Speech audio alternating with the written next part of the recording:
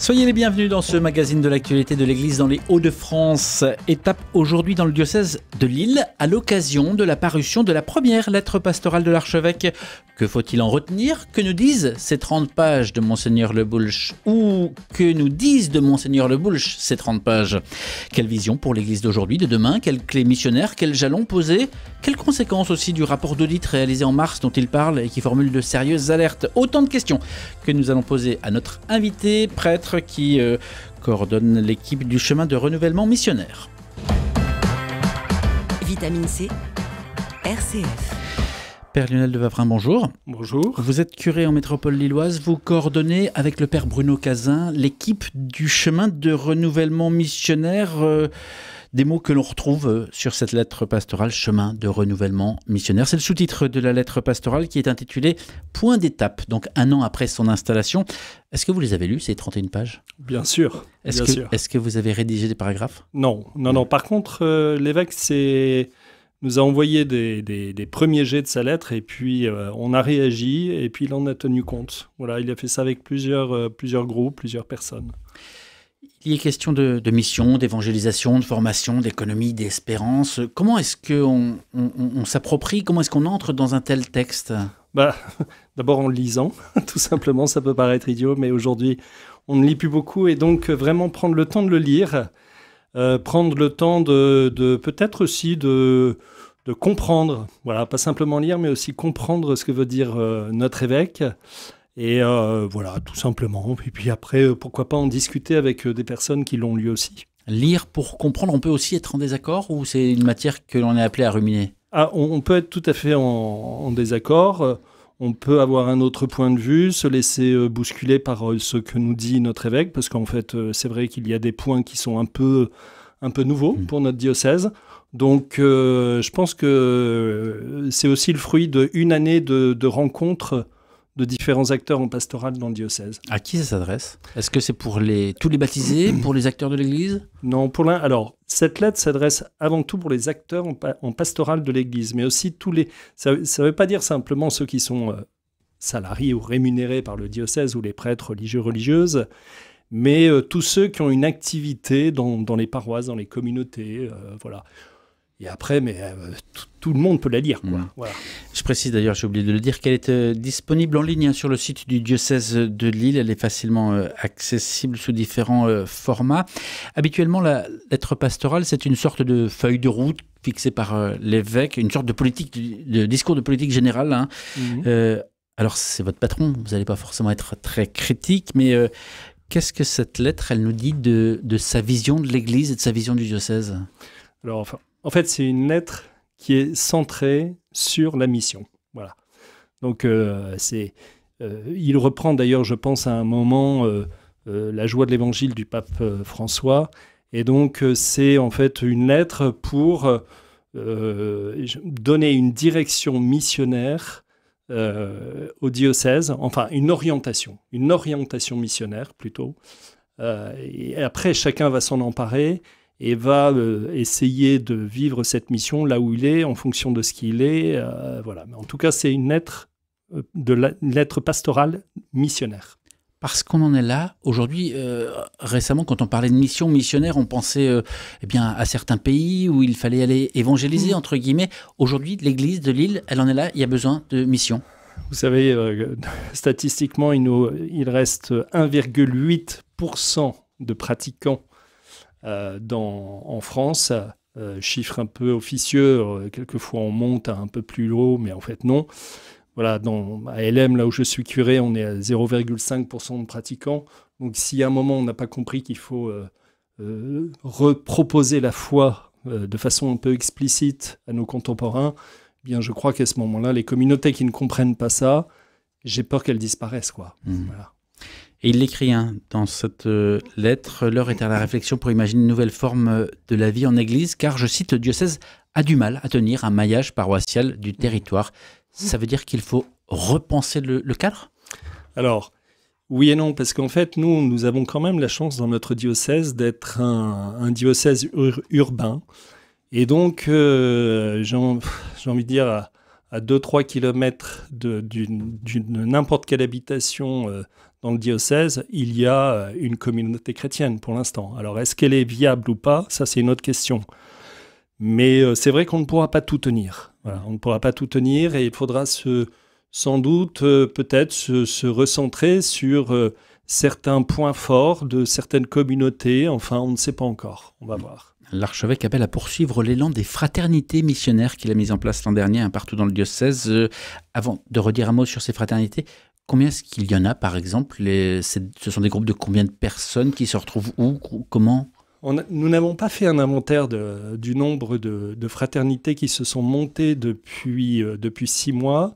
Il y a des endroits où ça a très bien pris, il y a des endroits un peu moins. Euh, voilà, ça dépendait un peu de la motivation des chrétiens et puis des, pasteurs. Euh, voilà, donc je peux pas vraiment. Mais par contre, ce qui est sûr, on est, sur quelques dizaines ou plutôt euh, Non, non, non, non, plutôt entre, je sais pas, plus d'une centaine à mon hmm. avis, plus d'une centaine, voire plus. Mais ce qui est sûr, c'est qu'il faudra continuer à les accompagner. Voilà, en fait, les, fraternités, c'est pas une, c'est pas quelque chose qui va, euh, qui va euh, naître spontanément et qui va continuer. Il faut vraiment un accompagnement de la part des pasteurs, il faut un accompagnement euh, de la part des communautés, un investissement. Et puis la fraternité est un, un élément essentiel de ce renouvellement missionnaire dont parle notre évêque. Et donc, s'il n'y a pas autour de la fraternité un renouvellement missionnaire, les fraternités risquent de mourir d'elles-mêmes. Quoi. Voilà, elles à la fois, elles entraînent le renouvellement, missionnaire et à la fois, elles, elles vont s'enrichir, se nourrir du renouvellement missionnaire.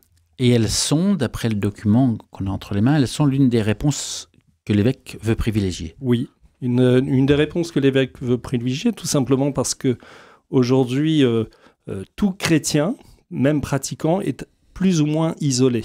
C'est-à-dire que comme nous sommes dans une société qui est euh, post-chrétienne, eh bien, dans son lieu de vie, le chrétien se retrouve face à vivre isolément par rapport à ses, frères euh, chrétiens. Donc, il doit forcément se retrouver à un moment pour partager cette vie chrétienne, et la messe du dimanche ne suffit pas.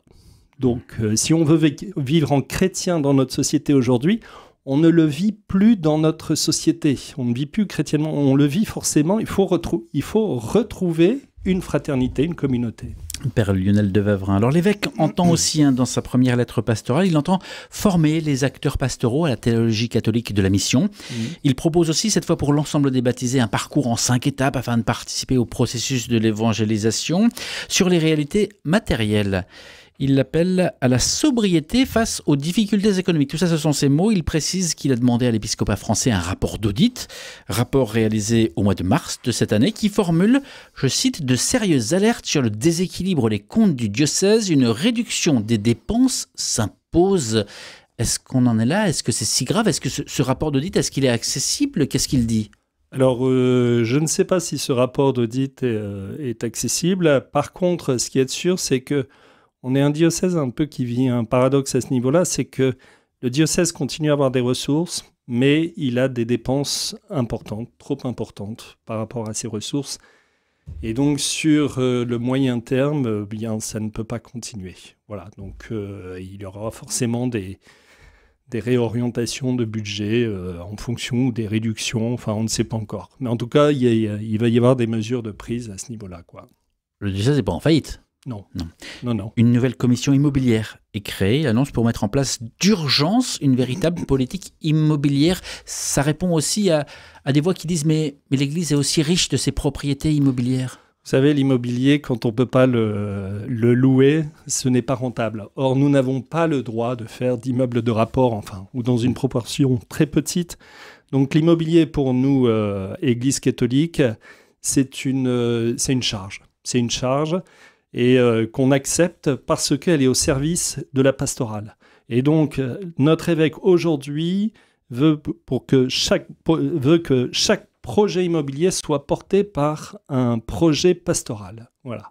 Et puis, euh, il y aura sans doute là aussi des, choix à faire euh, dans, ce que nous pouvons et voulons faire. Mmh, un effort également demandé du côté des ressources humaines pour diminuer les charges avec des réorientations de postes au fil des départs en retraite. Alors, entre les lignes, si j'ai bien compris, ça veut dire pas de licenciement, mais les départs à la retraite ne seront pas forcément remplacés. C'est aussi ce qu'on peut comprendre oui, mmh. on peut comprendre ça, et puis avec sans doute un appel plus grand au bénévolat dans certaines fonctions pastorales. On mmh. verra. Père de Bavrin, vous avez dit tout à l'heure que c'est un, virage hein, euh, à travers cette euh, lettre pastorale. Alors j'ai essayé moi aussi de, voir le, mouvement, de sentir s'il y avait réellement cette, cette dynamique en relevant quelques, quelques passages, quelques mots de l'évêque. Page 13, des outils seront proposés dès que possible. Page 14, un parcours de formation sera proposé. Page 15, un parcours en cinq étapes sera proposé. Page 16, des modes d'emploi à destination des communautés seront disponibles. Page 19, une nouvelle commission immobilière est créée. Les postes salariés seront réexaminés. Page 20, une commission prospective est constituée. Page 23, il nous faudra dès cette année penser une méthode de discernement ecclésial. Page 28, le, le service du dialogue interreligieux est renforcé, renouvelé. Le service diocésain de l'écologie intégrale est renouvelé. Page 30, il va falloir revoir l'ensemble de l'échiquier de la formation. En fait, il y a du mouvement à chaque page. On pourrait penser que c'est mm. figé, mais, mais ça bouge. Oui, ça bouge un petit peu dans tous les sens et c'est très bien. Euh, je crois aussi que le diocèse est prêt. C'est-à-dire qu'il attendait, euh, il attendait cela. Euh, on, sort, on est sorti du Covid qui a été une espèce de coup de frein un peu partout. et puis après, Monseigneur Ulrich est parti assez rapidement. Il y a eu une attente de presque un an du nouvel archevêque. Et donc là, il y a une sorte, de soif et puis un sentiment d'urgence aussi. Un sentiment d'urgence. On se rend bien compte qu'on ne peut pas continuer comme on l'a fait euh, depuis un certain temps. Et puis on a un signe positif, je trouve, qui nous est envoyé par le Seigneur. C'est cette, euh, demande de catéchumène, c'est-à-dire demande de sacrement, notamment de la part des jeunes, qui demandent des baptêmes, qui demandent des premières communions, des confirmations, qui, qui s'ouvre à la foi tout simplement. Et donc on a dans nos communautés une arrivée de, de, chrétiens, enfin de non-croyants qui, qui, qui, frappent à la porte de l'Église. Et donc, que fait-on avec ces gens-là? Que fait-on? Fait-on pour les accueillir dans nos communautés?